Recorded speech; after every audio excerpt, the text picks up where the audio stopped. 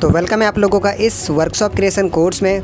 ये है इसका लेसन नंबर वन और इसमें हम बात करने वाले हैं कि आखिर क्यों ये प्रोडक्ट इसके ना कुछ मैं आपको मेजर बेनिफिट्स बताने वाला हूँ, कुछ गज़ब के रीजंस बताने वाला हूँ, जिसकी वजह से ना हमें ये वाला इन्फॉर्मेशन प्रोडक्ट बनाना चाहिए। अपना मतलब ये वाला बिज़नेस हमें स्टार्ट करना चाहिए, फिर करना चाहिए। तो चलो फिर चलते हैं हम बेनिफिट्स की तरफ़। तो सबसे पहला आ जाता है वो है ईजी टू क्रिएट यस बिल्कुल सही सुना आप लोगों ने, क्योंकि इसको क्रिएट करने के लिए ना कोई ज़्यादा टाइम नहीं लगता। जैसे कि मैंने आपको बताया सिर्फ़ तीन दिनों के अंदर, सिर्फ़ तीन दिनों के अंदर आप इस लाइव वर्कशॉप लॉन्च कर सकते हो। चाहो तो आप एक दिन में भी कर सकते हो, लेकिन मैंने तीन दिन रखा है। क्यों? क्योंकि अगर आप धीरे धीरे भी काम कर रहे हो एज जॉब भी कर रहे हो तो आप विद इन थ्री डेज़ के अंदर अंदर आप अपने इस लाइव वर्कशॉप को लॉन्च कर सकते हो भी बहुत आसान तरीके से।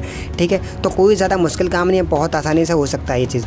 ठीक है? सेकेंड चीज़ की बात करें तो सेकेंड चीज़ है वो है नो इन्वेंट्री हेड एच क्योंकि इसमें कोई आपको प्रोडक्ट नहीं लाना, कोई दिल्ली से प्रोडक्ट उठा कर लाना है और आपको अपने घर पे या फिर अपने ऑफ़िस में इसको सजा करके नहीं रखनी आपको।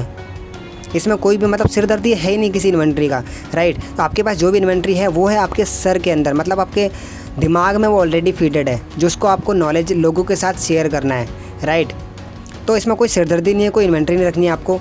तीसरे चीज़ पे चले तो तीसरा चीज़ है वो है पैसिव इनकम अब अब अब आप लोगों को लग रहा होगा पैसिव इनकम कहाँ है इसमें?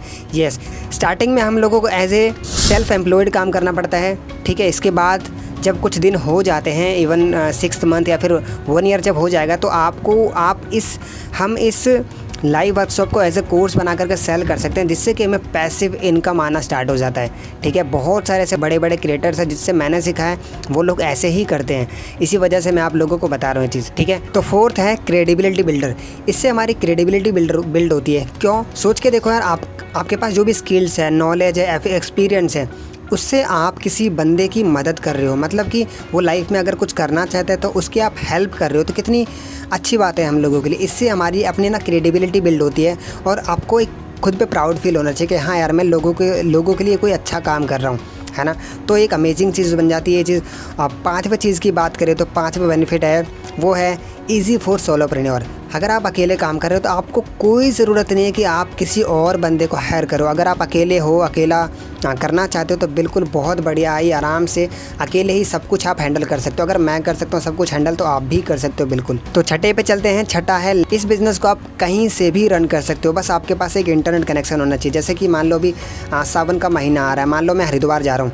हरिद्वार जा रहा हूँ तो हरिद्वार में आप मेरे रह करके मैं इस बिज़नेस को कैसे रन कर सकता हूँ? क्या मेरा रुक जाएगा? अगर वन वीक के लिए जा रहा हूँ तो क्या मेरा रुक जाएगा बिज़नेस नहीं।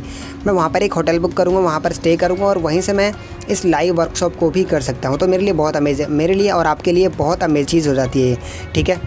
तो ये कुछ मेजर बेनिफिट्स थे जो कि मेरे को पर्सनली लगते हैं जो मैं कर रहा हूँ। और भी बहुत सारे बेनिफिट्स हैं, लेकिन मैंने इसमें पाँच से छः बता दिए जो कि आप समझ में आ गया होगा, ठीक है? तो चलो फिर मिलते हैं सेकेंड लेसन में। तो wish you all the very best and thank you so much for watching